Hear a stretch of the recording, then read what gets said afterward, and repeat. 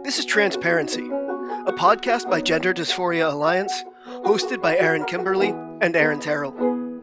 Each week, we'll be joined by people who have personal or professional experience with gender dysphoria and physical transition. We'll also discuss how our trans experiences relate to the concept of gender identity. Join us for a compassionate yet heterodox approach to the question of trans. Dr. Julia Mason is a board certified pediatrician and fellow of the American Academy of Pediatrics. She is a graduate of the University of Illinois and completed residency training in pediatrics at Children's Hospital Los Angeles. In the past several years, she's encountered an increasing number of gender dysphoric adolescents, most with neurodevelopmental challenges or psychiatric comorbidities. Last week, the AAP Board of Directors voted to reaffirm their 2018 policy statement on gender affirming care, but with an important announcement that they will conduct a systematic review of the evidence and revise their guidance for pediatricians accordingly. Dr. Mason has been a leading advocate for that systematic review, so we were excited to have her join us to tell us more. And here's our conversation with Dr. Mason. Right, welcome back to Transparency. I am Aaron Terrell, um, obviously with my po- co-host, co-host, co-host. That's what it is, uh, Aaron Kimberly, uh, and uh, we are very delighted to have uh, Julia, Dr. Julia Mason, uh, with us today. I feel like this has been a long time coming, getting you uh, on the pod to chat with us, but I think this is now perfect timing in light of yeah the recent events over at the AAP. So thank you and welcome. Thank you. Thanks for having me. I'm it's uh it's a good day. I wonder if we could start um, just because some of our viewers may not be familiar with all of the concepts that we're going to introduce. So, if maybe you could explain what the, the AAP is and what their function and role is. Yeah, yeah. So, the American Academy of Pediatrics is a professional organization of pediatricians. I think you do need to be board certified I don't know if they keep track of whether you maintain your certification, but in order to join, you need to be a board certified pediatrician. And and then it's it's basically it's a trade union, it's a professional union. You know, they're there to look out for pediatricians. But of course, if you're the American Academy of Pediatrics, what you say is we're looking out for kids, you know. So they will lobby for things like Medicaid expansion, the CHIP program, which was a way to get more kids covered by insurance. It was a lot more important before Obamacare, but it's still it's still important. And they do a lot of uh, lobbying about gun safety because it's often little kids that find you know unsecured guns and and tragedy ensues. So they claim um, 65 or 67,000 members and they definitely don't have every pediatrician in the country. And there was a big schism at least 10 years ago. Um, i'm not sure of the year but the uh, the american academy of pediatrics came out with a position statement saying that they supported the rights of gay couples to adopt children that you know that children can be well raised in a you know in a family with two two moms or two dads and there was a group of conservative pediatricians who were sort of like, that's it, that's a bridge too far, I'm out. And they formed something called the American College of Pediatricians, the ACP. And the ACP um, has a website and they do things. And and I've I've talked I've talked to people there, you know, they're they're they're nice enough people, but they don't have a lot of members. Um, it's important to remember the AAP doesn't represent all pediatricians because you've got to pay like $700 a year to be a member. And then what do you get? I don't know. You get to say FAAP after your name. And there might be families who are looking for that when they're choosing a pediatrician. Doesn't seem to be the case in my town. My boss is not and never has been a member of the AAP. But it's a it's a it's a big organization. It has a multi million dollar budget and most of their budget is not our $700 a year membership fees because i looked into that because i wondered whether you know like if a bunch of us threatened to you know to stop renewing our membership would would they care and i realized no they wouldn't care at all they get most of their money from like they have organizations they have they have uh They have contracts with formula companies, with drug companies, even with the Melissa and Doug toy company, you know, the one hmm. that makes all the nice wooden toys. Yeah. So they have some kind of agreement with the AAP. So AAP is huge and it has it has the appearance this is what i think now after years it has the appearance of democracy there is a president of the aap and we have an election every 2 years but now that i've thought about it we are presented with two candidates and there is no open primary system you know? So the leadership presents us with two candidates and then we can pick from those two. And then they become the president elect and they're the president elect for two years and i feel now like they're getting kind of trained up into how, what it's like to be in the aap leadership and how that works and then they spend two years as the acting aap president and then they spend two years as the immediate past president and so they are three of the 16 members of the aap board of directors and the CEO of the AAP is a lawyer, Mark Del Monte. And uh, he's, you know, he has been leading the AAP for more than 10 years. And so I feel like if anybody's in charge, it's it's Mark Del Monte. It's not really, you know, it's not really the person who's got the title of president of the AAP. I'm pretty sure almost everything a president of the AAP says has been written for them. Sounds a little bit like a like a democracy a democracy like like uh, parenting a three-year-old would be a democracy. Do you want to wear this shirt i picked out for you or this shirt i picked out for right, you? Right. Exactly. Exactly. But is that Just is that normal? choices. Or like is from if you know with other medical organizations is that usual to be the, the uh, basically the, the, ceo the head honcho uh-huh. uh, not actually a physician of any kind to be a, a lawyer? Is that I don't know. I do not know if it's if how many medical organizations are headed up by a non-doctor. I wouldn't be surprised though because if you're a doctor, you've spent years training to be a doctor. Right. You don't really right. want to like set that all aside to run an organization of doctors. Like that's yeah. not your personality type. So yeah, if you're sense. the president of the AAP, you're going to be doing less clinical work for for 6 years and a lot less for 2 years and that might be worth doing because it's a career move blah blah blah but but to actually just give up on medicine i mean there's there are definitely thousands and thousands of doctors who don't see patients who you know who are up in the administration but it's not yeah the skill set are the skill sets are different yeah. And the, even yeah, though it's the sense. American Academy, there, uh, there, am I correct that there are Canadian members? Yes, there are Canadian members. Well, it's America. It didn't say the United States Academy That's true. Pediatrics and uh and there's definitely like people when you go to the the national conference and exhibition which is every year in october um there's a lot of people from all over the world who come to uh, to get cme things like that. So it's got some international i don't know if that's membership but international participation for the cme events which i always enjoyed till a few years ago CME events?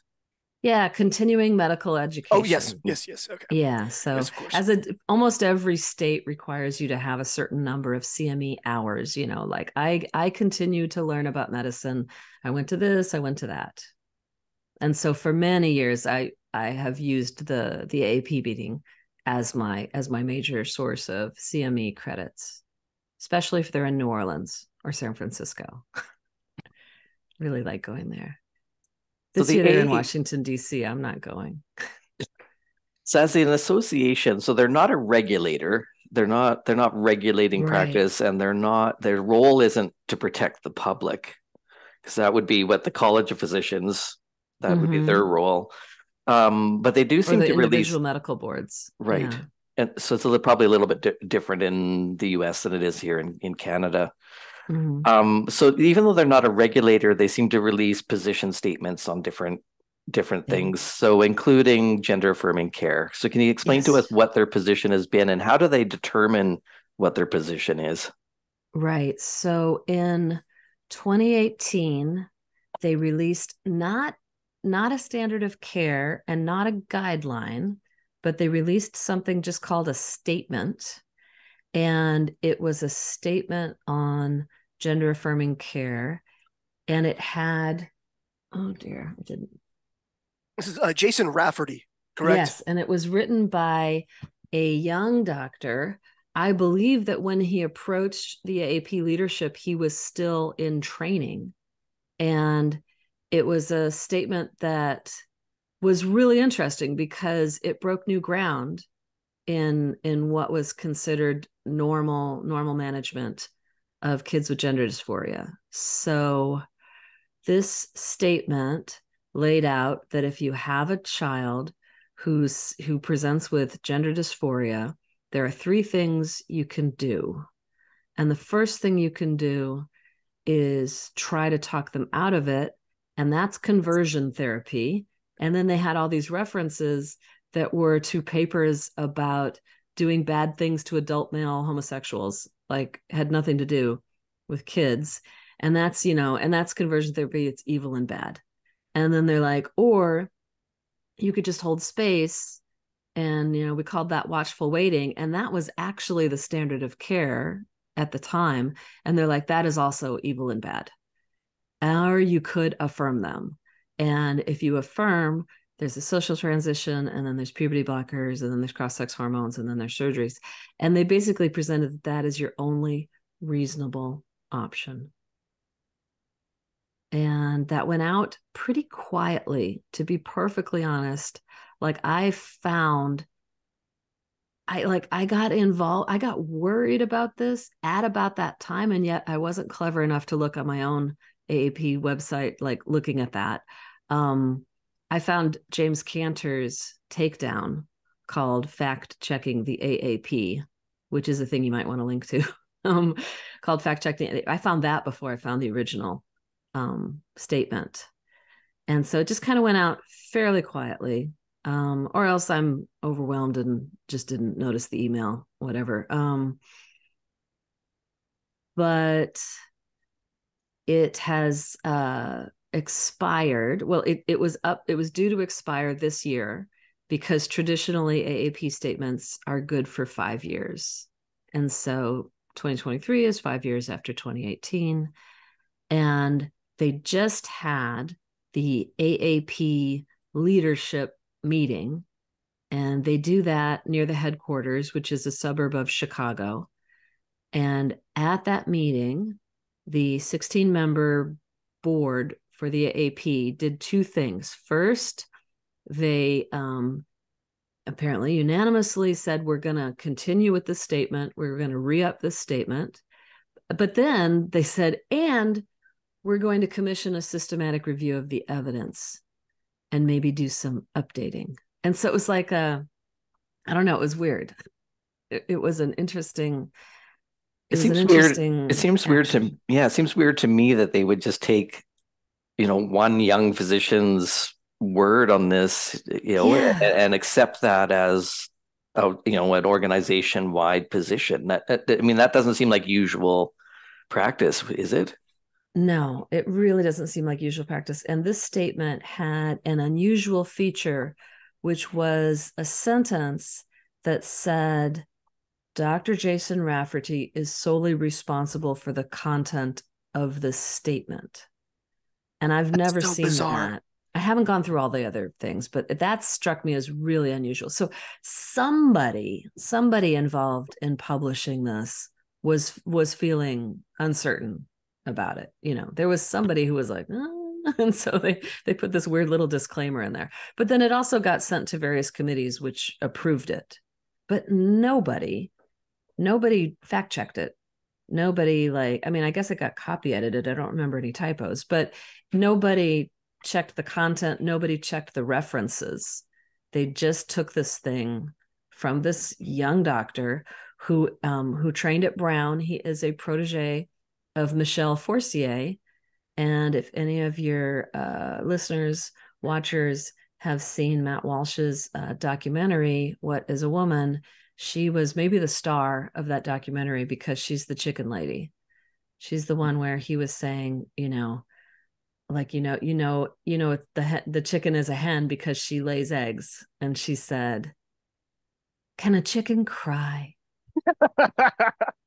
Can a chicken commit suicide?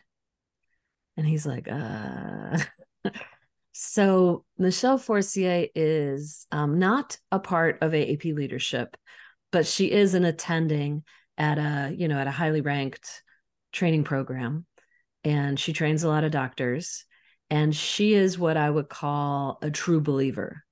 You know, this is a like the the gender identity is is very much like a soul she feels like she can look into a child's eyes and determine their soul you know their gendered soul and if it's this then that's what it is and it will never change and i'm skeptical of that but um that's uh that's where she's coming from and then dr rafferty was just a brand new pediatrician. And I've talked at length in other places about what Dr. Stephen Levine calls the chain of trust. You know, so when you are learning medicine, you're drinking from the fire hose, right? Like there's all this information and more coming at you, and you do not have the brain with the bandwidth or the brain space to individually confirm all the facts that you're being given you just have to take them on trust. You have to be like, I'm a medical student. These are my teachers. They're telling me this is the way it is. This is the way it is. And so I can't really blame him because he was just right there, you know, and he was soaking in it. And so he picked that up. And I imagine that he went to the AP leadership and he's like, ooh, ooh, you know, like there's a new civil rights movement and the AAP needs to be on the right side of history. Trans is the new gay and you know trans rights are human rights and blah blah blah blah blah you know. and the the leadership which is uh older people and people who kind of were there through the whole gay rights movement and maybe maybe feeling a little bit bad about how quickly they stepped onto that train. They're like, "Oh right. Yeah, yeah, yeah, yeah. I'm I'm for this. I'm for this." if this is the new civil rights movement, then I am for it. And so, whatever you say, just why don't you write something up and we'll take a look. And he wrote something up, and somebody was a little nervous about it that got that that little disclaimer put in there. But generally, it just it just got published. And then it was all it was left to people like James Cantor, who's a sexologist who knows those references, to kind of take a look at it and go, this does not this does not fit with what I understand about the you know the current yeah. state of the literature. And that wasn't enough for them to kind of question maybe they they were wrong? They just circled the wagons is my impression. You know it's very much like there's that phrase it's not the it's the cover up not the crime. I think that they they made a mistake in just taking this document from this young doctor and not fact checking it and then when people started pointing out that it had errors they were just like mm, mm, mm, mm, mm no not listening you know? We're just gonna and maybe that's what happens when your organization is run by a lawyer. Because to point. admit that you made a mistake opens you up to lawsuits. But also the longer you refuse to admit that you make a mistake i feel like the lawsuits get worse but i am not a lawyer so so this know. this move to you know basically reaffirm that statement but with the caveat that they would do a systematic review i mean that seems like part of the process of backing out. Yes, it very much does. And so I'm glad to see it. My prediction is that they're going to slowly over time change the definition of affirmative care while loudly proclaiming that they are for affirmative care and they always have been. So they'll be like, we haven't changed our mind. We've never changed our mind. But what we're the actual specifics of what we're recommending have are have changed drastically. They already did this. So let's see. Well, first first I want to um give a little history on me and the AAP. Yeah, I was hoping you tell the story of yeah, yeah, been trying to get them to do this for a long time now. Yeah, I get this more in chronological order. So the statement came out in 2018 I didn't actually see it when it came out, but pretty soon after it came out, I saw James Cantor's because I started to look around and I found that. And that's just because I had more and more patients. And I sent a patient to the clinic that I really thought was going to be sort of um, differential diagnosed out. Like my first kid that I sent to the gender clinic was like, yeah, you know, like I could totally see it. And she had the story of lifelong, you know, identification. But then the second one, she came in with her mom and I don't know, I just just didn't seem legit to me, but I'm like, well, I'm just the pediatrician. I'll send you the gender clinic. And they affirmed. And then I'm like, wait a second. And I started to realize that every single person going to that clinic got the same diagnosis. Like they, it was a one way trip. And so I went to the 2019 um, AAP national meeting, which was in New Orleans. This is before the pandemic. So it's a big gathering of people all in one place. Remember those? and uh, thousands of people, like five or 10,000 10, pediatricians come to these meetings. They are huge. And there was a uh, there was a presentation about pediatric gender medicine and they put it in a double-sized room because they like they knew it would be of high interest but the room was packed and there were three doctors there who all did transition of minors and they were thrilled to see the room was full. And it was obvious that they thought the room was full because we were all there because we wanted to know how we could be life-saving heroes like them. You know, so they they all considered themselves to be life-saving heroes. They had it they had it stuck in their heads that like these kids are just to die if you don't if you don't give them what they want and and I do and now they're happy and yay me. And then you know they it's traditional that you can ask questions at the end and so i did i stood up and i asked a question i don't remember what it was but it was a skeptical question. And after and i was the last one to be able to ask a question. And so then immediately like you know they turned off the microphones and everything. And i got mobbed by all these pediatricians who were in that room and they were like oh thank you so much for asking that question. I'm concerned myself. I don't understand what's going on. And i thought yeah the majority of mm-hmm. pediatricians mm-hmm. in this room are just here because we're trying to figure out what's going on. This doesn't make sense and we're trying to figure it out so that was my experience in 2019 i also went to my regional meeting. This was like an early morning meeting and my region is i'm in i'm in portland oregon. I practice in Gresham, Oregon, and my region is Oregon, Washington, Idaho, Alaska, Hawaii. And uh, they all presented various things. This is how we're getting kids to exercise in Alaska and, you know, eat better in Hawaii and blah, blah, blah. And then when we got to the you can ask questions part, I asked a question that said, I'm worried about what's going on here. And wow, like if people had lasers in their eyes, I would have been dead at that point.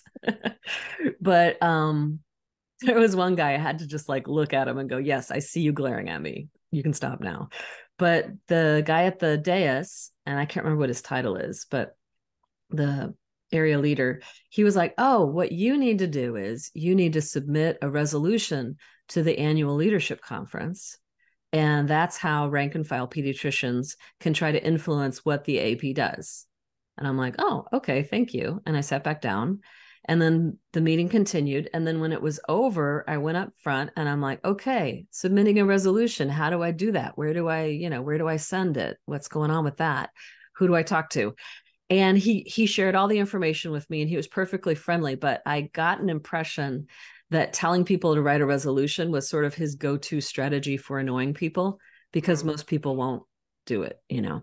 But I was already a member of SEGM at that point, and uh, and so I knew that I had people who could help me actually write a resolution. And as it turned out, like the deadline was in a week. It was crazy. Um, but I put in two resolutions and to be perfectly honest, I'm not sure if I used the term systematic review of the evidence in those first ones, but it was about, you know, we need to back off on what we're saying here. But because there was just a week, I didn't get a sponsor. And the meeting, the meetings used to be in the spring, but that was the spring of 2020 and it was the pandemic and the lockdown. And so it was a Zoom meeting and I attended via Zoom and they got to my resolutions and they're like this is an unsponsored resolution. Does anybody second this? And it was silent and then and then they said okay moving on you know? So my first resolution kind of died a quiet death. And then they changed the whole timing so that was kind of my 2020 resolution even though i submitted it in 2019 and then in 2021 a different pediatrician who i didn't know at the time i know her now sarah palmer she submitted a resolution with similar concerns And I got to know her after she submitted her resolution. And she actually, at the meeting, which again was virtual, um, somebody did second it. So it went for a vote, but then it got voted down. And then in 22, I submitted a resolution, and that's that's the one where I'm quite clear. I said what what I want the AP do to do is a systematic review of the evidence because at that point Finland and Sweden and England have all had all done systematic reviews of the evidence and found the evidence to be very very weak and poor. So I that was my only ask. AAP should be a systematic review of the evidence. I had four co- four co-authors, so there were five of us, and uh, we couldn't get you know we couldn't get a second and so it didn't get voted. But it was online. They did a new thing because of the pandemic. They put all the resolutions online and they sent us emails saying hey go and look at the resolutions. You can comment you know you can do things like that. And we got a lot of comments and of the people who bothered to vote it was like three to one or four to one positive you know? So like the rank and file pediatricians thought that was a good idea. And then lat this year i submitted one with 23 co-sponsors so there were 24 of us. And uh, it said this it, it, was you know it had new facts but the the ask was the same that the ap do a systematic review of the evidence. And they did not put it online and it's a whole like basically they just kept coming up with more reasons why nobody could see what I was doing. And I was I just said something wrong because it was Sarah Palmer's resolution that got a lot of engagement online. And then the next year they said if your resolution is unsponsored, nobody can interact with it. So in 22 And hers had been unsponsored. Hers had been unsponsored, so they made a new rule Right. so basically, they made a new rule. If your resolution's unsponsored, then nobody can leave a comment and nobody can give it a thumbs up or down. And that then voting, the thumbs up or down. Sorry to interrupt. Is that is it anonymous? It's it's it's no, it's not. It's not anonymous. Oh. It is not anonymous, and it's kind of like it's hidden from the public. Like you can't go and look. Um, but I have I have in my possession, you know, I have a document where I, I downloaded everything, and so I can see who, yeah, who said yes and who noes. So those are like, if I was more clever at being able to figure out email addresses, maybe I could write all these people. Um, I was just thinking it probably the the I think a lot of like why nobody seconded your resolution in that meeting was you know the uh, you know silencing spiral type type deal, right? Whereas if you can go on on the resolutions and vote yay or nay anonymously, I feel like that would have gotten oh, much I higher. think I think that if you did, if we had a, a truly anonymous vote, if we polled the American Academy of Pediatrics members, yeah, things would be different. It's really weird. This is just such a weird topic, and we see it over and over again where the public is in one place and the leadership is in another place. And I think the leadership is telling themselves, well, all civil rights movements are unpopular at first. And so we're just pushing ahead. We're on the right side of history, etc. And that has been the case in the past, you know, just this is just this one, this just this one seems to be I don't know, wolf in sheep's clothing or something. Yeah, yeah. You think where where irreversible medical interventions come along, it's kind of different from uh, all all previous uh, yeah. civil rights issues. But yeah, yeah. I'm the- no the- doctor. well, yeah, I can tell you the the the medical implications are huge, definitely.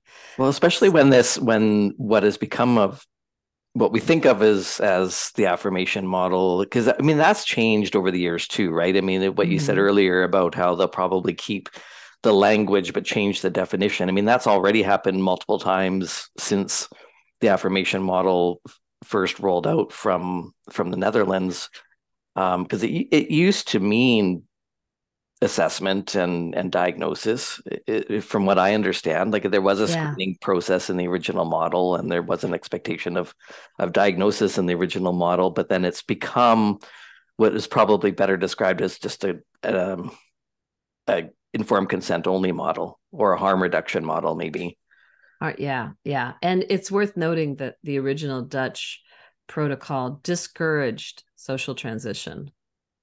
They they they even they even have language where you know a mom might be like okay this is my daughter and they're like no this is your son who would rather be a girl and in the future we might be able to do things to help him look more like a girl but you know don't don't be changing everything You so know why they didn't? Uh, I'm just really curious about this. Why the Uh-huh. Dutch discourage social transition and why it's so oh yeah cheerlead, cheerled, or whatever that term would be over here.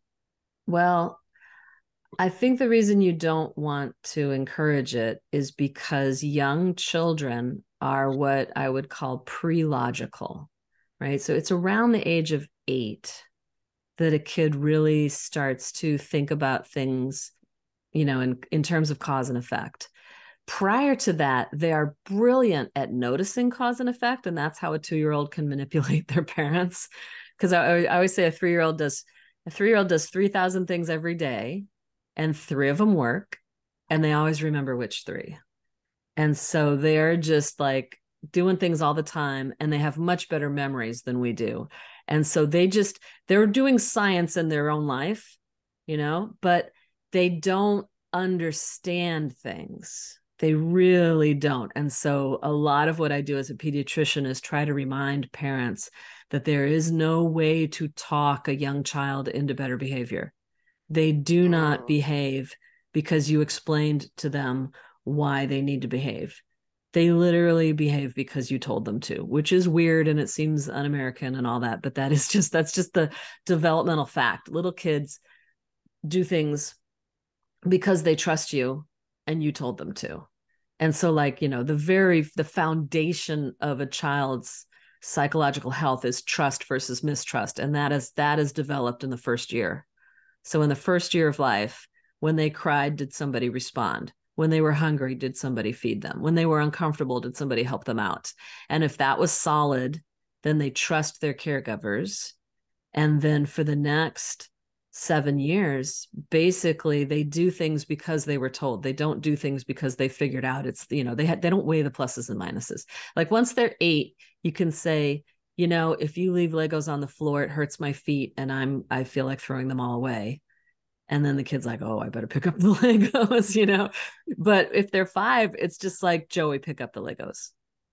You know, and and so if you tell a child of three four five six seven years that um you know the fact that you want to wear dresses and paint your um fingernails and grow your hair out means that um, there's something wrong with you. You're you're you have a a boy a girl's brain in a boy's body but it's okay because we're gonna just like we're gonna we'll, we'll all pick out a new name together and we're gonna send you to kindergarten and tell everybody you're a girl and we'll use she her pronouns. And then when you're older the doctors will change your sex. And if you say that to a small child they believe that it's really going to happen. They ask questions about you know like when i am a mommy and you know all this kind of stuff they they i mean you know they have great faith in the powers of adult i mean we do amazing things right Mhm.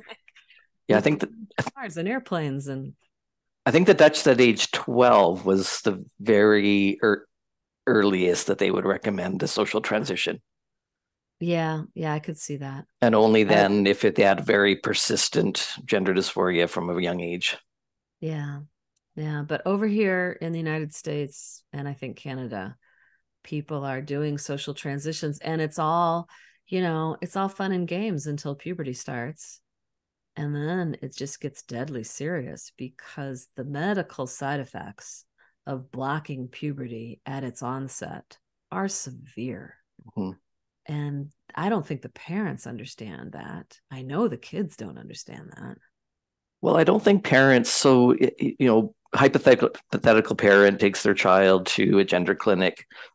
I don't think they're being told, well, did you know that the vast majority of time childhood onset gender dysphoria is highly correlated with homosexuality? So chances Mhm. are, odds are, based on the research, A, your child will probably grow up to be gay, and B, especially if they're boy, and Yeah. B, there's 12, 13 studies that all say by the time they're an adult, they'll have adapted to a gay identity and this gender dysphoria or this you know strong desire to be the opposite sex will shed off. That's not what these families are being told. No no they aren't. No, they all it's really weird you know because I'll, I'll i'll talk about in the before times you know? So like in the before times it was known that 66 to 80 something percent maybe even 90% of kids with a cross sex identification would desist you know as they hit puberty and as they had um, what stella o'malley calls their sexual awakening you know because when when you're little you don't think in terms of who you're attracted to but that that's part of puberty is starting to figure out who you're attracted to. And yeah for a lot of the kids and and especially the classic the classic effeminate boy he he gets to be old you know he gets to be 12 13 and he gets a crush on somebody and then he's like oh that explains a few things. So yeah we've blocked that pathway and i don't know you know that was that was part of uh the staff at the tavistock clinic which is the which was the world's largest pediatric gender clinic in in london there was there was staff sort of joking to each other that soon there would be no gay people left in england because they were all being transed which is horrible to think about. There is some and i'm just worried yeah? There's i mean there's some i was just thinking of of cases in history where activism has displaced has really changed the course of a medical practice. And i guess there is precedent in in terms of um, the activism involved in removing homosexuality from the dsm i guess that would be one one precedent but i think mm-hmm. the, the key difference between that is that that wasn't in direct com- contradiction to the evidence Whereas yes. I feel I feel like what's happening with the you know the influence of activism on medical practice, it's in direct contra- contradiction to the all the evidence about what is best practice for for kids. Yeah, it's just it's like we forgot everything we know about child development and we forgot everything we know about adolescent development. It's it's just all gone out the window in favor of this political ideology you know and that like identity is more important than anything else and you know when i was i was a kid in the 80s and there was this whole campaign aimed at gay kids that said it gets better you know like i know life is rough right now it seems really awful but it gets better and all of these adult gay people were were um, creating sort of short video messages that were going out to say, look, you know, it was rough for me when I was in high school, but now I'm happy and, you know, it gets better. And there wasn't any medicalization involved. you know, it was yeah. just, it was just getting on with your life. But now it's it's getting onto a path of medicalization with a ton of side effects. And then, you know, I think the harm done, if they think they're protecting trans people with these policies, I mean, I think the harm done to people like myself and and you know probably you, Aaron, Aaron Terrell as well, but for those of us that had classic gender identity disorder, the, this activism and the and the blind following of that activism by the medical establishment is really neglecting us because we're we're not afforded an opportunity to better understand this condition that we've been di- diagnosed and treated for. I mean, I've been treated for almost 20 years now for a condition that no one will explain to me what it is. Wow. Yeah, yeah, because it's if you if you try to explain it, then you're not a believer. And it really feels more like a religion than a scientific field to me. There are catechisms like trans women are women, trans men yeah. are men, non binary people are valid. You know, these are just things that you say and you have to believe them. Um, and this whole like, and just what they, when they talk about gender identity, it just sounds like a soul mm-hmm. to me. The idea that it's in you, it's internal, eternal, and immutable. And I, I just know too many detransitioners for that to for that to sit comfortably in my head. They they they they they uh, manage that by saying, well, it's also fluid and expansive, and oh, yeah. you know, detransition and retransition is just part of that. You know, that uh, all, all part of your gender, gender journey. Yes. Yeah. Yeah. Gender journey. But All right, so yeah, but- 2022 um it sounds like they were starting to make some some progress. Well, 20, so 2022 they said um you can't you can't comment. And so then people put comments on the resolution after ours because it was interesting on the website you could read our resolution, the one with uh, five authors. You could read it, but then you had to go to a different spot on the page and click and then it was a drop down list and then you would select the resolution that you wanted to comment on and it went directly from 26 to 28 our resolution was number 27 and it wasn't there. So people were leaving comments on 28 saying hey what happened to resolution 27 i wanted to leave a comment. Da, da, da, da, da, and so then this year in 2023 they um they had a new rule that said the leadership retain the right to determine whether a resolution is necessary and if we feel that a resolution is not necessary, we're just going to bin it, you know, like it's not even going to show up. And so they came out with that rule before the deadline for submitting it. So you're only allowed four whereases. And I think we used three of the four to talk about why our resolution was necessary.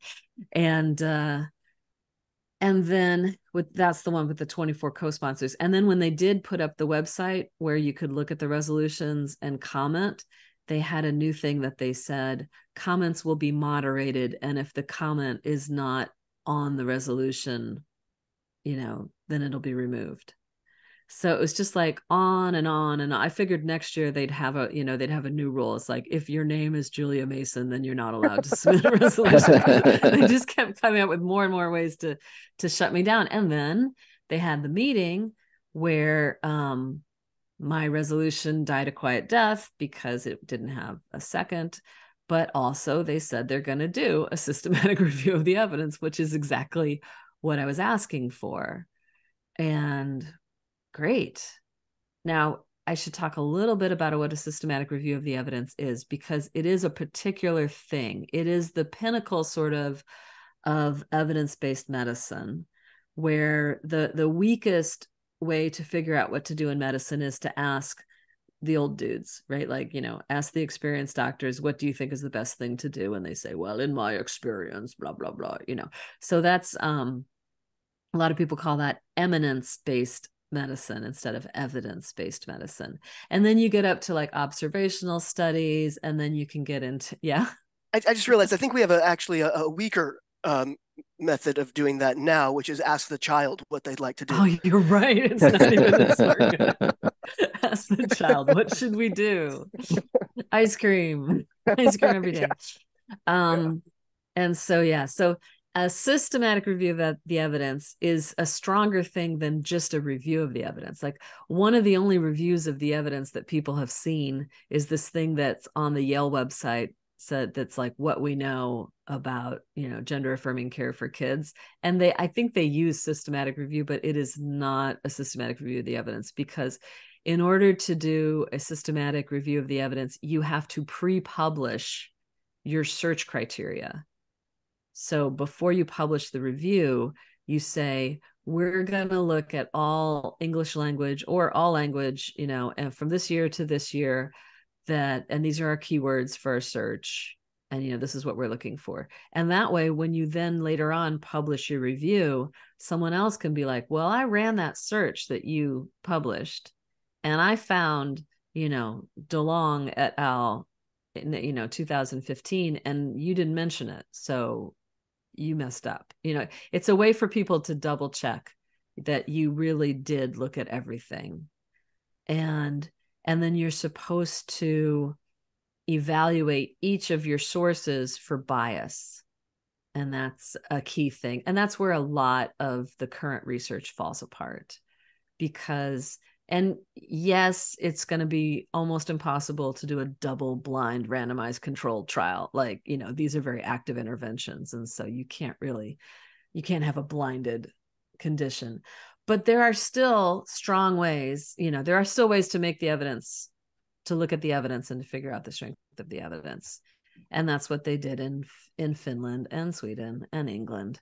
And in each of those places they're sort of like oh we need to slow down on this. And uh Riittakerttu Kaltiala, who is a, a child and adolescent psychiatrist in Finland. She was tasked with opening up Finland's gender clinic a long time ago. And she says that like she looked at she looked at the research and she's like this is not super strong but finland is a small country and i'm told i need to start a gender clinic and so i'm doing it so she started a gender clinic and then she published i think in 20 i think in 2015 that her experience was if the kid came in and they were solid and stable and doing pretty well.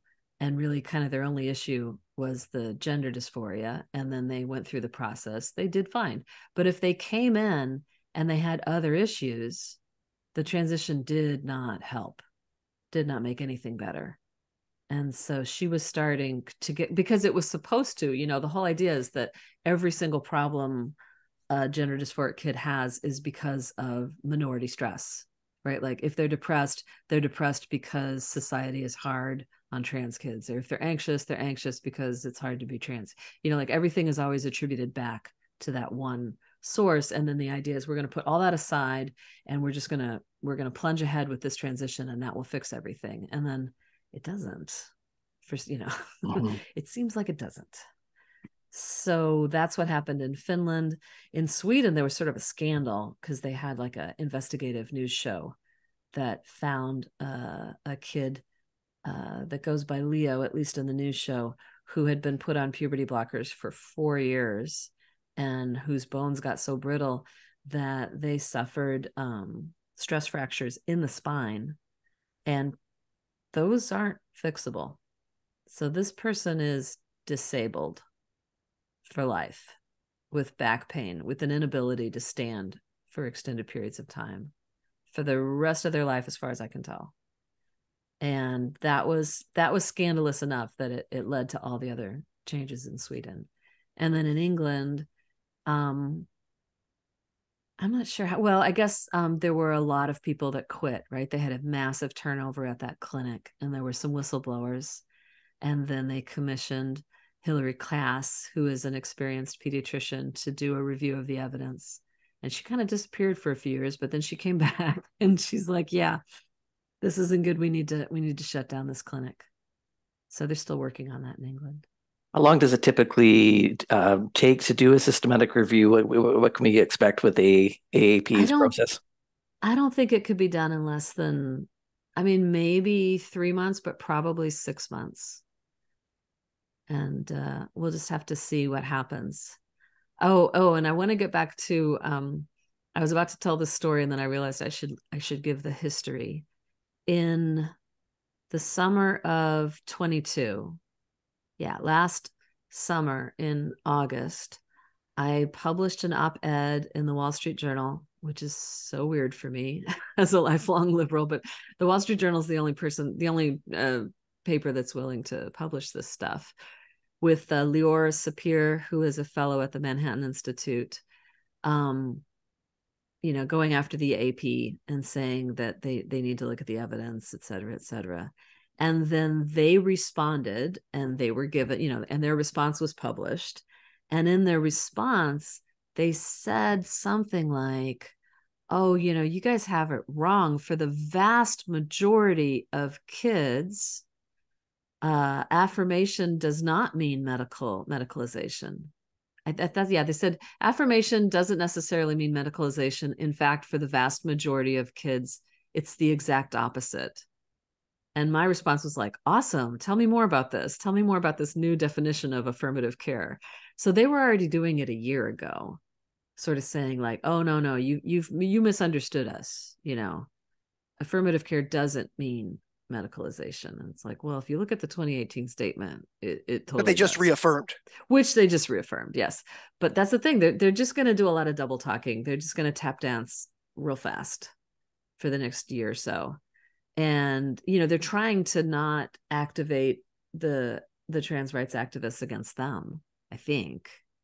And then they also have to deal with all the true believers so I would guess that the people who are in AAP leadership are not true believers. They just kind of got caught and then they circled the wagons and tried to just shut down all dissent and now they're figuring out that that is not eh, that's not working that's not happening. So i'm really glad to see that but they're still trying to play off both sides. So we'll just have to see what happens.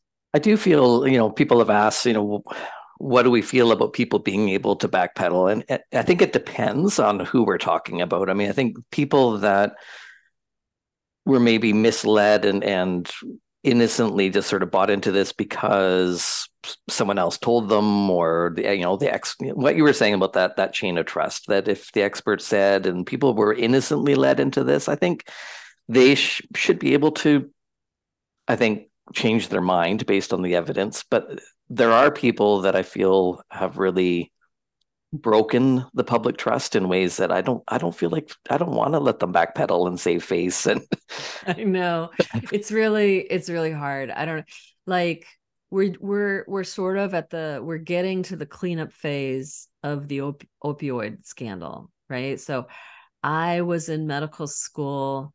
I started medical school in the 1980s. That's how old I am. And um, right when I was in medical school in the late 80s, there was this push to be like, pain is the fifth vital sign. You have to ask every patient about their level of pain, and they need to give you a number.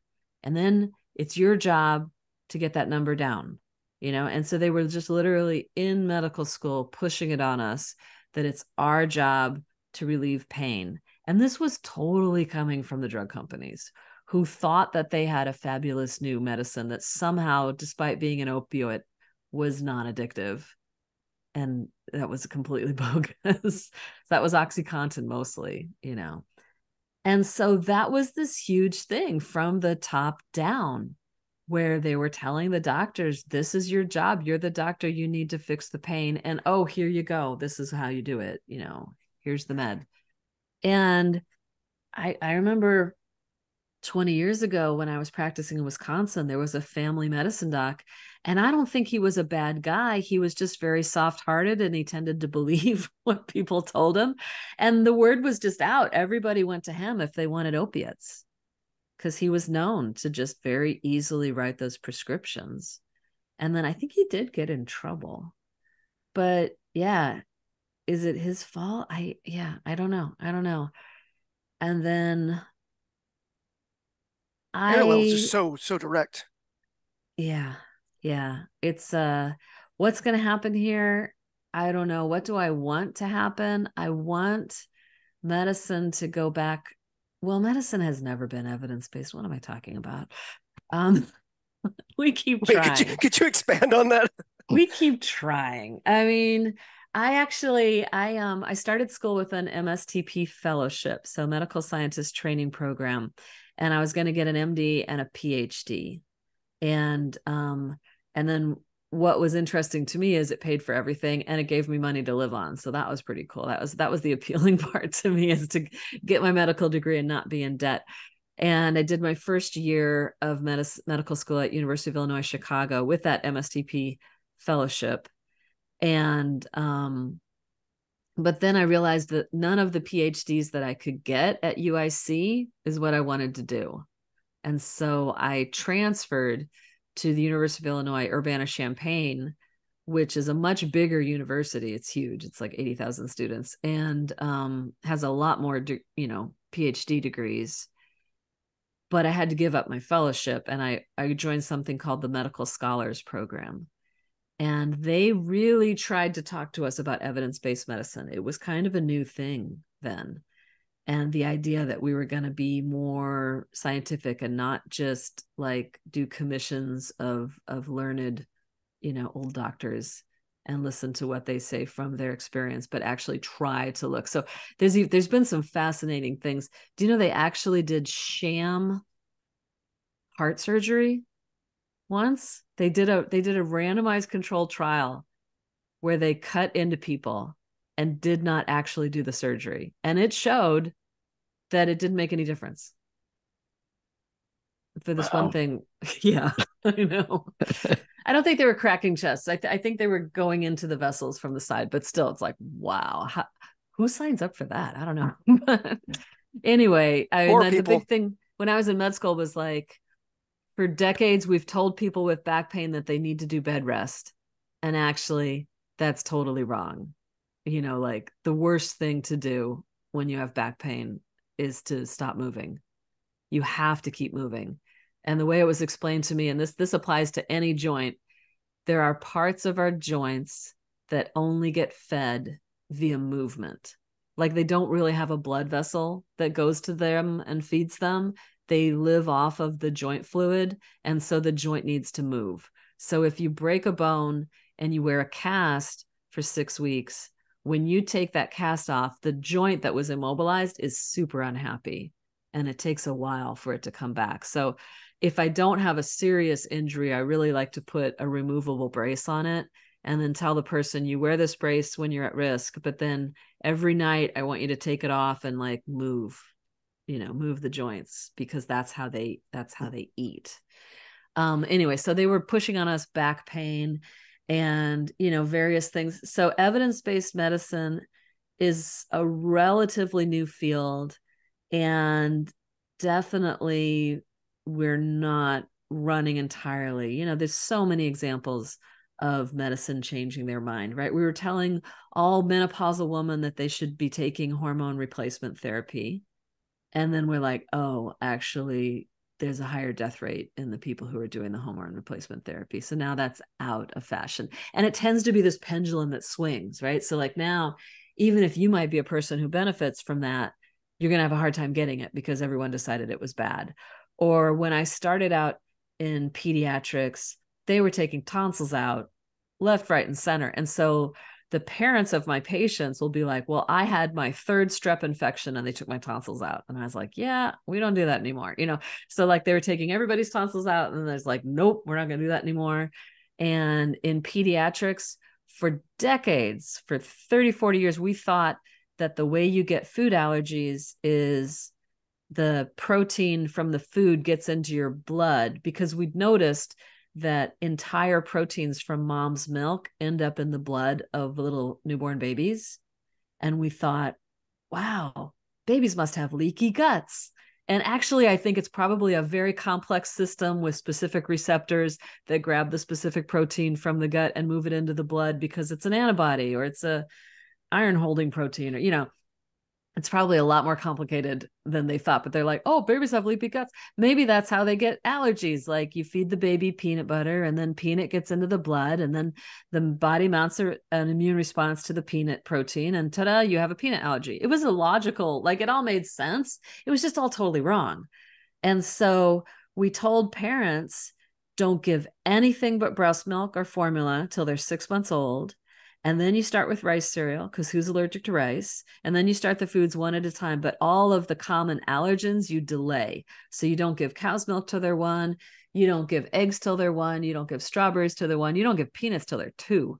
And we if we were right then the incidence of food allergies should have gone down but we were totally wrong and the incidence of food allergies was just going up and up and up until a british allergist went to israel where they've got a snack called Bamba and it's peanut butter puffs.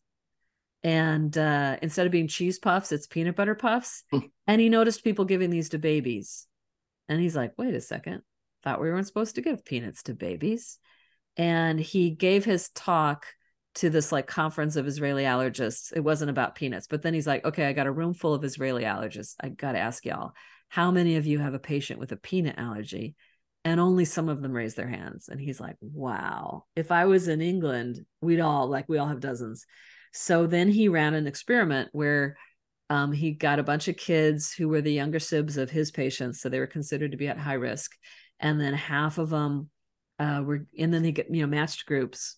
And then half of them were given the usual advice no peanuts till they're two. And the other half are like we want your baby to get three grams of peanut three times a week and here's here's how many puffs they have to eat and here's a bunch of puffs and the babies that were deliberately given peanut had a lower rate of peanut allergy it wasn't zero but it was lower and that blew up all of our rules so now i'm like the only rules i have is you don't want to do anything that's an infection risk and you don't want to do anything that's a choking risk but all those rules aaron you probably remember that um because your kid's the age that Yeah. got all the rules. Yeah. Yeah. And my kid, gone. and, and she had tons of food allergies. I'm sorry. I'm sorry about She's that. She's outgrown them now, but yeah, she was Yeah. allergic to everything for a while. But the When I- ring of when the ring of fire on both ends. Yeah, and and the, but you know, like on that chain of trust thing, when I was a young pediatrician, I was all like, "You can't give anything but breast milk until they're six months old," you know, and I believed it because that's what I'd been told, and why would I not believe it? It sounds like medicine, uh, to your point, that it's never been evidence based. So it sounds like it it develops by hypothesis that's then Yeah. put into practice, and then the evidence comes out whether that hypothesis was true or, not. It does seem to be that way, and yeah, and I don't know. Yeah, I, I was gonna say, is that is that capitalism when it comes to new drugs? I think capitalism is part of it. You know that in the United States we have a for-profit medical system, and that creates all kinds of weird incentives. But on the topic of gender, it really it started moving in Holland. You know, started moving in in the Netherlands, and then it went on in England and Finland and Sweden, which none of them have for-profit medicine. It went crazy in in the United States. And I think we're going to have the hardest time dialing it back in the United States. But I don't know. Canada's Canada seems you're right. And then yeah, Canada for different just, reasons, like though. confuses everything. yeah. So basically, we're not going to get the nice Yeah, dog. she's back. Yes, it's very Uh, exciting. Yes. uh, uh, I keep, I've been, you know, yeah, just ho- assuming and hoping that there's going to be a massive, you know, reckoning, a massive uh, holding people to account. I'm like, I'm envisioning, you know, the Who holding, you know, Nuremberg style trials to figure out, you know, and and now I'm like, okay, well, so nope, we're just going to be like, oh, we were wrong, move on. That's Okay. yeah, yeah. Because well, if you think about the um the satanic panic, right? The idea that preschool children were being subjected to satanic rituals at daycare. And what's really funny is that Diane Ehrensaft, who is a psychologist at UCSF and who says that if you have a little toddler girl and she rips the barrettes out of her hair, she's making a gendered statement. She's saying um, that she's not a girl, but she doesn't have any words. So it's a non, she says that pre verbal children can tell you that they have been misgendered by their behaviors. Or uh, I went to the San Francisco. I went to the, Mhm. Tra- the San Francisco Trans Health Summit, and she said that again. She gave that Oh exact my same God, example. She's, she's sticking also, with it. the the one, yeah, it's like I assumed that it was something that was recorded, and that you know the gender critics just keep repeating it because it's so ridiculous. But no, she repeatedly she says really that she was saying that. it as yeah. yeah as Well, recently she as a few months ago. published. She published on the Satanic Panic. She was a believer. She's basically, if she has a golden thread, it's believe the child. You know, that's her thing. She thinks that children are like innocent, pure beings of nothing but truth. And I don't know how she deals with You would think Easter that some you would think Santa that Claus and all that, but yeah you would think someone like that would be held held to account i mean that if she's if she bought into the satanic panic and now she's bought into the the gender woo i mean that's two strikes against her she's she's obviously has a vulnerability right to Yeah. to accepting these and and the thing is and- people went to prison. People were wrongfully accused and convicted and sent to prison on the basis of this sort of repressed memories stuff that was just a fad. It was a psychological fad the idea that a person could have a horrific experience and then bury it and then the the the most clever therapist could pull it out of them and what you pull out of their memory is the truth and mm-hmm. can be used as a basis to put someone in prison. So, you know, I don't know what's worse like people losing their sexual function for the rest of their lives, people losing their freedom. You know, it's all bad, but but that just sort of quietly sank without a trace. There was not a big reckoning. There was I mean, obviously there wasn't a reckoning for Diane Ehrensaft. She's doing talks to big groups of doctors and they're all applauding. The, so the reason I keep things- thinking it, it, the reason I keep thinking it's it's so different in this instance is because it's so visible. Somebody going to prison that that's literally invisible. Um, but what we're where we're talking, or not literally, but you know what I mean. It's it's it's Yeah. it's not visible. Um, Right. What we're talking about is children's entire bodies being altered irreversibly. We are going to be surrounded by the proof of this for a generation Yeah. and and it's and we also the age of social media where all of this people's passionate opinions endorsing this are all We've got the receipts. public we have the receipts right and and Yeah. yeah again so it's not yeah not the receipts and the physical evidence are not going anywhere it's not something that can like people are oh it's just gonna be memory hold yes there's going to be you know uh, attempts like the A- aap is already engaging in uh, of Mhm. memory holding and doing this this saying this but meaning this and meaning like they can keep doing that but the evidence of the harm is going to be forever you know it's going to be visible for an entire generation so that's why it just seems like this is this has got to be different right i mean that's what i keep holding on to Ah, I mean, it's everything's different. Everything is different. This is this is this is bizarre. The way this came about is really bizarre. So maybe the way that it ends will be completely new, and we just don't know. We don't know how it's going to go. Just in the past, medicine has made mistakes, and it tends to just be, you know, the guy that came up with lobotomies won a Nobel Prize for medicine, and he was not subsequently put in jail. It's just that, and I don't think that lobotomies would have disappeared as quickly as they did, except that Thorazine became available. And so there was a way to chemically sort of zombify people. That's the medicine they're giving people in One Flew Over the Cuckoo's Nest, you know, and it kind of just knock takes you out. So I don't know. Human nature is such that, you know, it's like mistakes were made but not by me you know like that that seems to be how things go and the people with the power are the ones that decide how it goes and so yeah i don't know we'll and there's also the parents Hel- Hel- helen joyce made a really good point recently when she i think she was talking to peter boghossian on his show and she was basically saying how um, it's it's going to be the parents who are the, the longest clingers to uh, this having been the, the right call just because you know you you know it's one thing to admit to yourself that you made a mistake by doing something you know t- to yourself and it's another thing. Or a doctor's you know certainly not, not the lawyer at the head of the aap but you Mhm. know an individual doctor can say you know that they're less inclined but they could say you know you know that was a mistake. I'm sorry. We shouldn't have done that. But how does a parent reckon with with making that decision for their child um that's i think that's going to be a whole nother uh yeah kettle of It's- trauma. Oh it's awful. It's Mhm. awful. And it's you know i've already seen this. I know there was like a, there was a judge in california and she was presiding over a custody case where the mom wanted to transition the kid and the dad did not.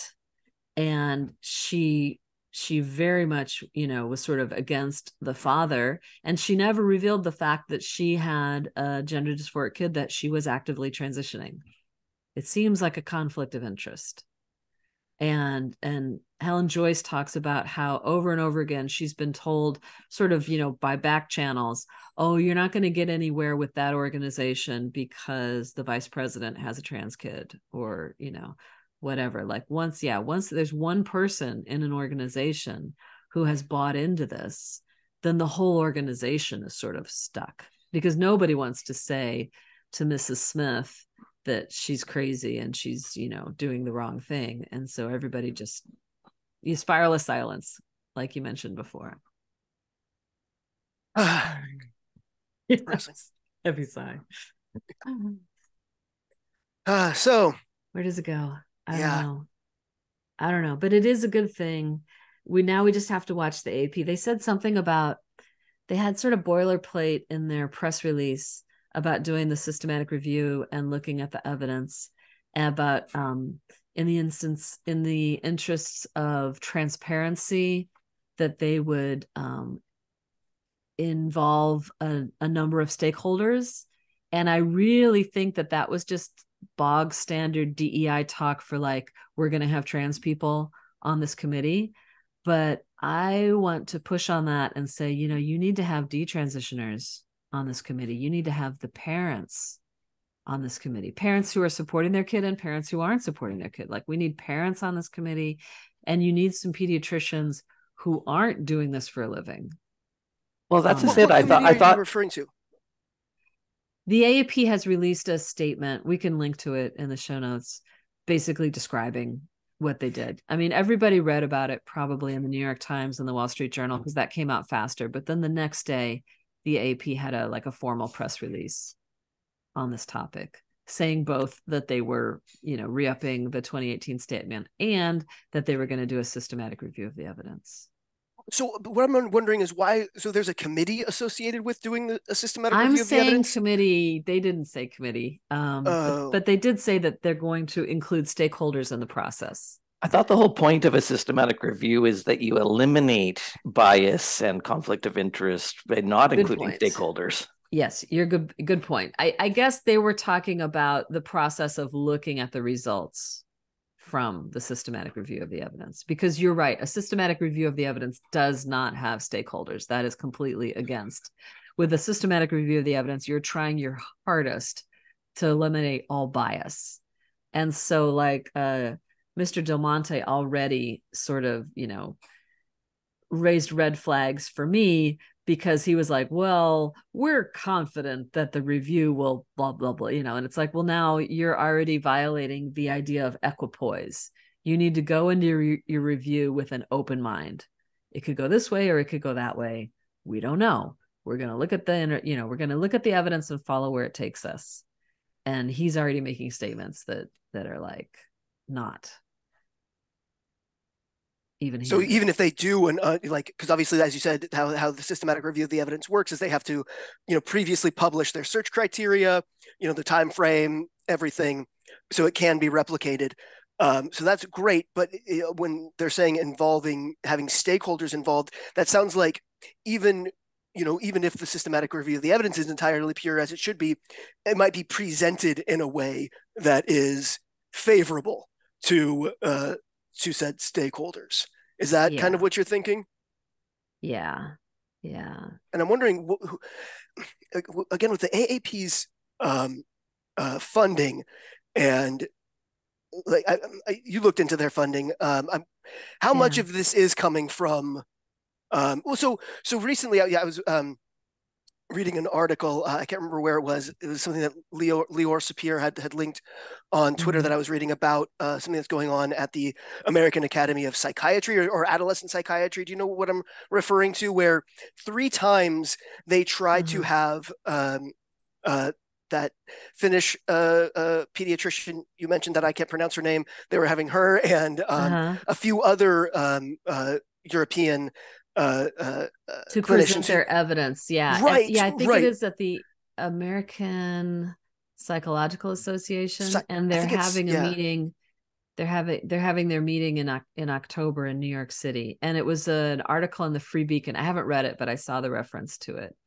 Yeah, and they're Okay, like, yeah, "No, yeah. we won't listen to you. We don't want to hear about how you're doing it in Europe." Right, it's one individual. It's somebody named Aron Janssen, who is the the head of the gender division of the because it's the American Oh. Academy of Psychiatry for adult children and adolescents. It's specifically uh, Okay. pediatric, and I remember it's psychiatry, um, and uh, because it's yeah different from yeah psychology. I remember, but um, uh, and it's the head of that department who unilaterally basically because they have all these you know different people coming and presenting on different topics, and this is the third time that he has struck down the invitation of those specific presenters. Um, and I looked up that individual, and he's on the uh, he's on the, the the Pritzker Foundation or something. Mm, Um, yeah, when I right, when I and so I'm wondering if something similar is going on at the AAP, where there is um, right there's definitely financial- are yeah. big in illinois in chicago and the ap is based in chicago so that's a question it's an excellent question and i i don't know the answer i found the statement i can i can read it out loud please. um, okay, so this is from the AP press release. The board reviews evidence and considers policy renewal on a regular schedule as authorizations expire. Based on the continuing review, the board reaffirmed the current guidance on transgender care until there is an updated version. To ensure the policy update process is transparent and inclusive, the AAP will invite members and other stakeholders to share input. So the stakeholders part is they're saying we're reaffirming the 2018, but we're also going to update it starting now, I guess. They don't really So- say how.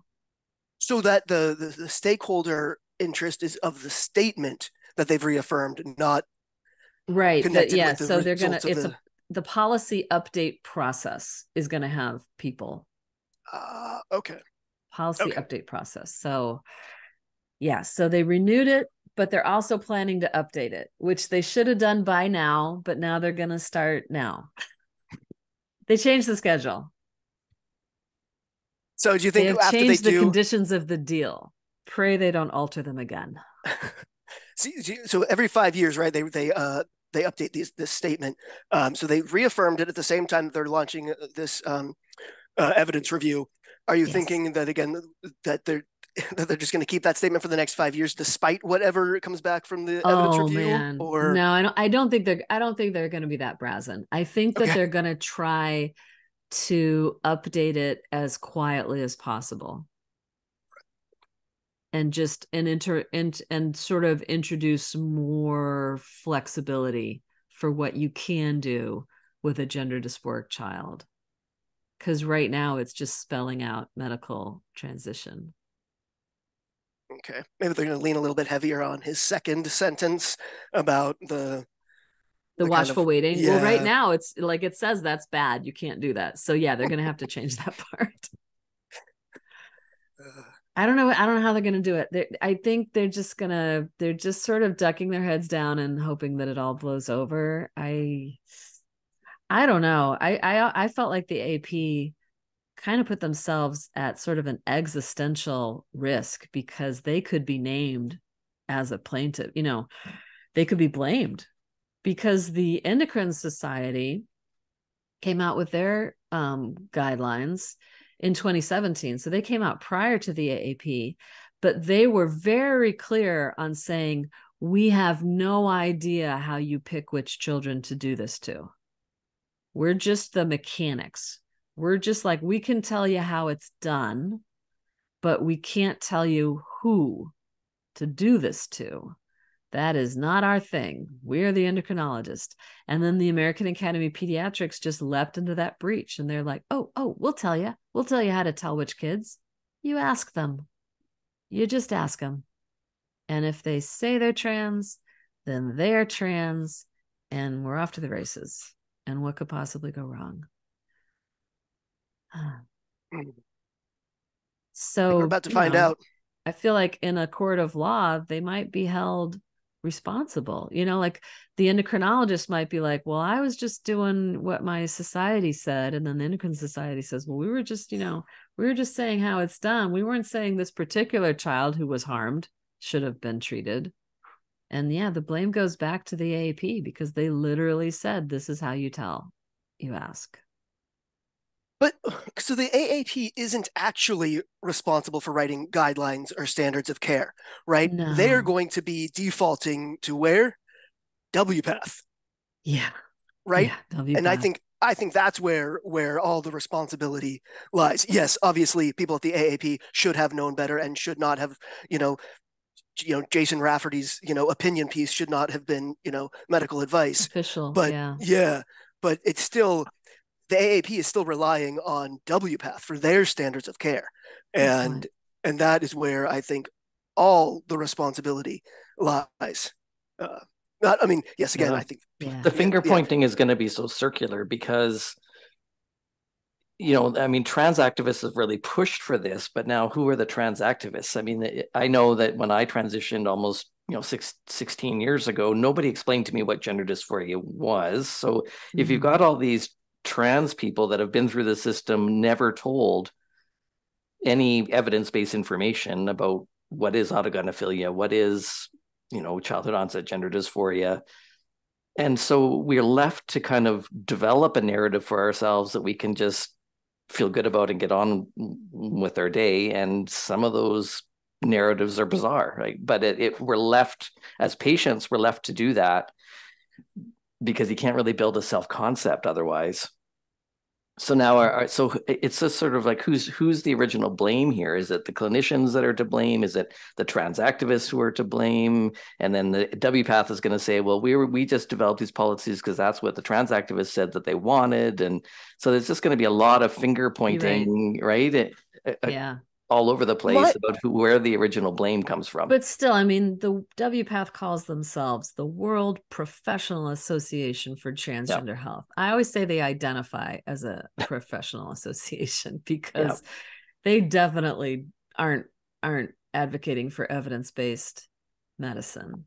Right. And it's not just that activists because activists shouldn't uh, like like Aaron, you're saying like point at the at, but so so it's never an activist job to to give medical advice or to write medical guidelines. So the A, so the WPATH, even if they were influenced high, heavily by activists, and they were, so what? That's not the activists' fault. You know, it's their job. You know, mm-hmm. activists are going to, you know, advocate and they're going to. That's what they do, but they're not. They, they should. They're not writing medical guidelines. WPATH is, but at WPATH that that there is in a lot of cases no line between a clinician and a trans activist because many of them are trans activists first and clinicians second. And so in that case absolutely those activists are at fault and should be held to account uh, and uh, held responsible in my mm-hmm. view but in, mo- in a, I would say at least half of WPATH um, there there is not a distinction between a trans activist well in all of all of WPATH there isn't a distinction between a, a clinician and an activist. But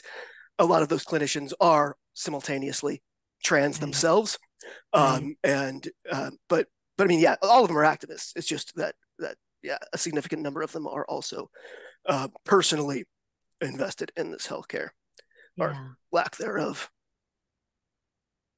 Yeah, I, I agree. Yeah. yeah. Can WPATH be redeemed? I don't know. No, no. no. I mean, no. I'm hoping that the AAP can be redeemed, that they can like do reverse ferret and be like, oh wow, sorry, like you know, because I think that overall they do good things. I think,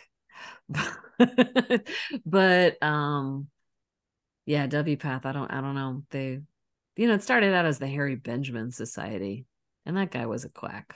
So but even even then, they were just so much more cautious and re, like yeah, just, yeah. They, they, they had the crazy name, but they actually were a lot more cautious than they are now. Right, right. It, it's just what it yeah. is now. I mean, people. I don't know how people can read the standards of care eight and think that there's any you know actual evidence or or medicine that went into that document yeah. at all. I mean, there's literally well, they, a chapter on castration. Yeah, they dropped the ethics chapter and they kept the eunuch chapter, and that's like yeah. I was like, okay, there you go. Yeah. Path is lost. They have like completely lost the plot. They've been taken over by activists. Mm-hmm. Yep. Well, thank you so much for being here, Julia. This has been yes. very, very informative. All right. Good to talk to you guys. Yeah, it's been been a pleasure to talk to you. I, I, I, I maintain hope that we're not going to go the satanic panic uh, route, but I just yeah I've, I, I i don't have bloodlust. This is like the one topic where it's like i'm not i'm not usually like a justice seeking kind of person. It's like oh people mm-hmm. make mistakes bad things happen let's all move on you know if, you know. But in this case it's like i want heads to roll. Like i just really do i'm sorry i don't know why but i just really do no no you're not wrong i just i um i'm old that's what it is you're like, I'm tired. I'm Let's just, make like, it stop. I'm just like, whatever. Call just it make it stop. Yeah, exactly. uh, fair. Just please, can we stop? Yeah. Well, you had a massive hand. We are stopping, I think. You know, I think that's where we're heading, and I think you had a, a massive, massive role to play in that, and your, uh, yeah, persistence and and getting them to. Right. I have been insistent, finally doing. persistent, and consistent in my efforts. Yes, you have. to get the AAP to stop listening to six year olds. and thank you. All right. Thank you. Thanks for joining us for this episode of the Transparency Podcast. If you enjoy our content, please help out our algorithm by hitting like or subscribe. If you'd like to make a donation, follow the link to our PayPal account. On behalf of the Gender Dysphoria Alliance, thanks for your support.